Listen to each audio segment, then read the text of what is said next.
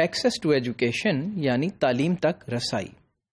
जब हम तालीम तक रसाई की बात करें तो हम देखते हैं कि ये एक बहुत बड़ा चैलेंज है जो बलूचिस्तान को तमाम लेवल्स पे जो है वो दरपेश है।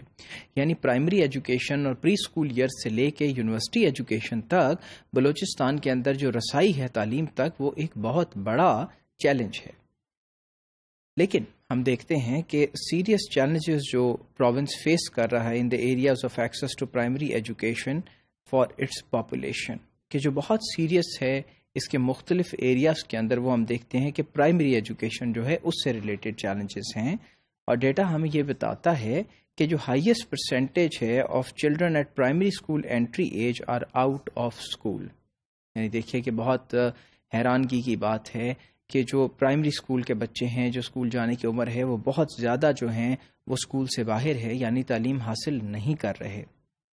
और फिर उसकी जो मेजर रीज़न है for slow growth in enrolments वो क्या है कि low survival rate and low transition rates has been observed to be limited access to education particularly for females in rural areas इसकी जो वजूहत हैं, उसमें लो सर्वाइवल रेट है कि आप तालीम हासिल करना शुरू करते हैं लेकिन नहीं कर पाते लो ट्रांजिशन रेट है कि आप एक जो जमात है उससे दूसरी में जाने का तनासब बहुत कम है और फिर लिमिटेड एक्सेस है एजुकेशन की, यानी वहाँ तक पहुँचना बहुत मुश्किल है कि 20-20 मील दूर अगर स्कूल हैं तो फीमेल स्पेशली जो रूरल एरियाज़ के हैं, उनको कैसे वो ट्रैवल करेंगी? और फिर सूरत में जबकि ज़राए आमदोरफ्त भी शदीद जो है, वो किल्लत है उसके अंदर और लोग नहीं पहुँच पाते तालीमी दरसगाहों तक।